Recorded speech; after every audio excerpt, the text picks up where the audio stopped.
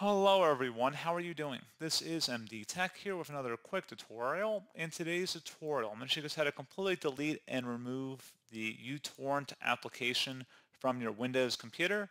So this should hopefully be a pretty straightforward process here guys, and without further ado, let's go ahead and jump right into it.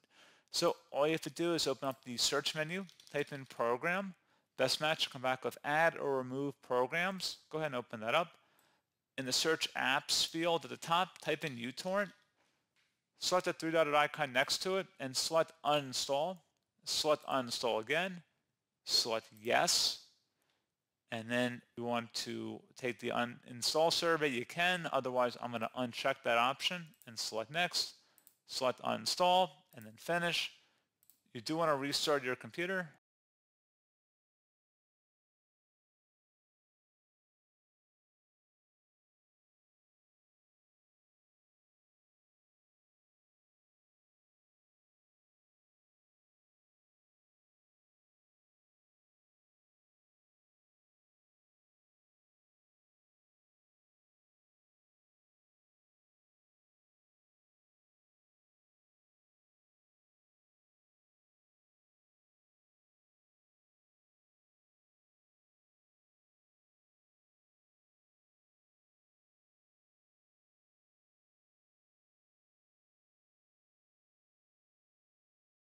And there you go, guys. Hopefully that was a pretty straightforward process. And as always, thank you for watching. I do hope I was able to help you out, and I do look forward to catching you all in the next tutorial.